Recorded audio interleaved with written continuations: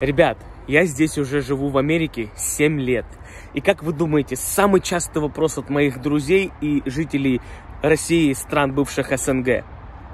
Нет, никак сюда переехать. Нет, никак здесь устроиться на работу. И, о нет, никак много здесь люди зарабатывают. Самый частый вопрос это, реально достать там травку? Это легально? Ты курил? Как тебе?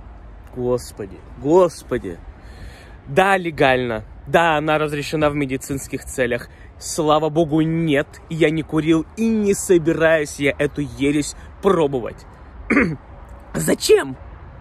Жизнь не так полно веселья. Зачем это дерьмо в себе впихать?